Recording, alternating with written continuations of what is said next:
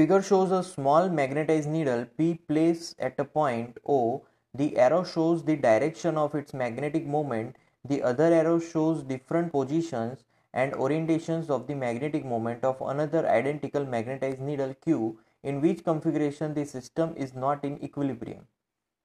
So first of all see this is our uh, that uh, magnetized needle right and q1 and q2 both are uh, on equatorial point of that and uh, both are in same direction. So uh, the most uh, we can call that not equilibrium.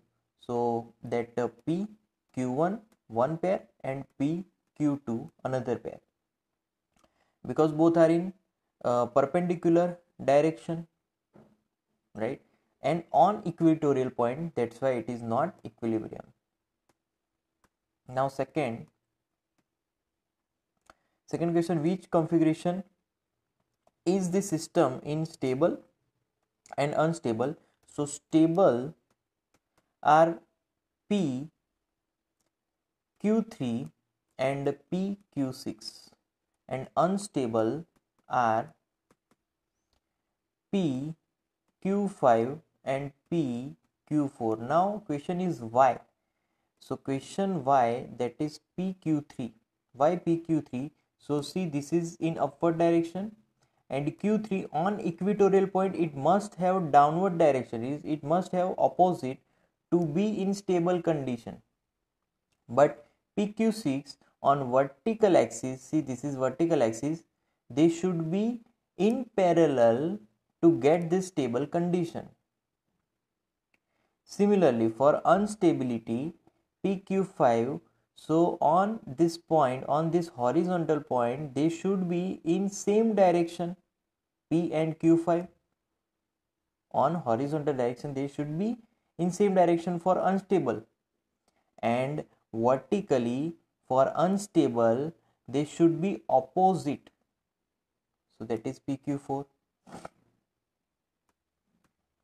and uh, then next question which configuration correspond to the lowest potential energy among all the configurations shown? So lowest potential energy right? So it is in between uh, q3 and uh, q6 why? So see first of all uh, we know that that b is equal to mu 0 2m upon 4 pi r cube now m is equal to uh, formula is uh, here that angle between these two right? So that is cos 0 see here 2m is there right? So 2m so q3 right? And uh, q6 so for q6 b is equal to that is equatorial point. So mu 0 m upon 4 pi r cube.